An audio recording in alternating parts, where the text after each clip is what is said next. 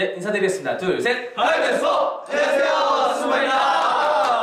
네, 어느덧 2016년도 다 지나가고 2017년이 다가오고 있는데요.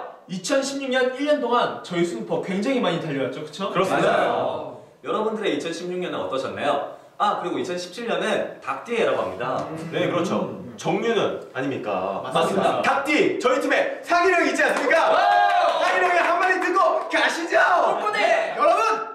2017년 한 해 정말 행복한 일 가득하시길 바라고요. 예, 저를 포함한 닭띠 여러분 좀 더 파이팅 하세요.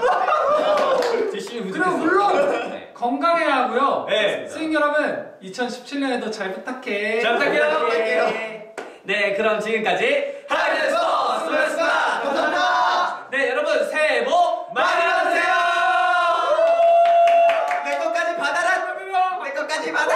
자. 됐어.